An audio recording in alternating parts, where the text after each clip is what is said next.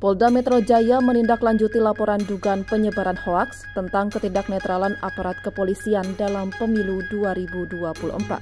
Polda menerima laporan dari Aliansi Masyarakat Sipil untuk Demokrasi.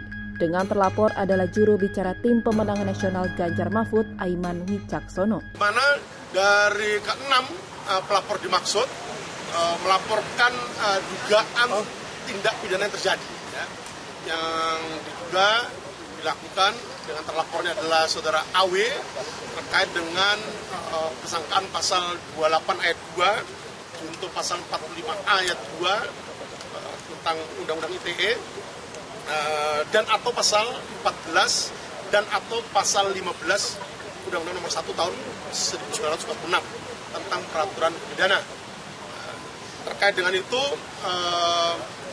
pelapor uh, telah dilakukan klarifikasi ya atas laporan yang di, uh, dibuat di, uh, di kantor SPKT Polda Metro Jaya sebagai bagian dari tahapan penyelidikan ya penyelidikan yang dilakukan oleh tim penyelidik Subdit Cyber di Khusus Polda Metro Jaya.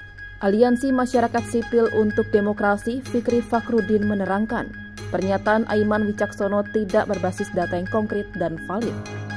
Sehingga Fikri menilai mantan jurnalis itu telah menyebarkan berita bohong atau hoak.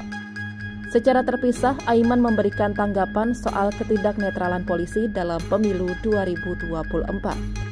Aiman mengaku bukan polisi yang tidak netral dalam pemilu, melainkan oknum. Dengan pelaporan saya, saya ingin memberikan informasi sebagai berikut. Ada banyak pemberitaan dan juga info-info di luar sana yang uh, tidak tepat. Saya ingin meluruskan Pertama, saya tidak pernah menyebut institusi Polri, tapi oknum. Saya buktikan pada video yang dijadikan dasar pelaporan saya.